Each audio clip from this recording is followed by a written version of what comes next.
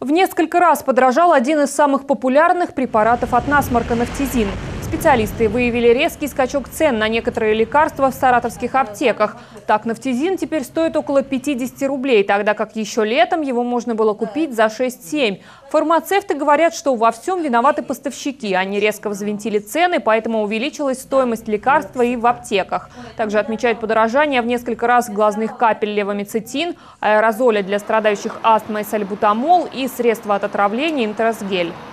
В данный осенний период приобретаешь больше, конечно, это простудные или для повышения иммунитета. И вот, конечно, покупаете лекарства, стало заметно, что возросла цена. Ну, конечно, я не соотносил в каком-то процентном да, соотношении, но, в общем-то, для кошелька стало ощутимо. Покупала раньше нафтизин, он мне хорошо помогал. Он стоил раньше 9 рублей, сейчас он стоит 39 рублей. Поскольку я молодая мама, нахожусь в декрете, для меня это неприемлемо, такие цены. Отечественные медикаменты дорожают из-за повышения стоимости компонентов, а вот импортные препараты растут в цене в зависимости от курса доллара и евро.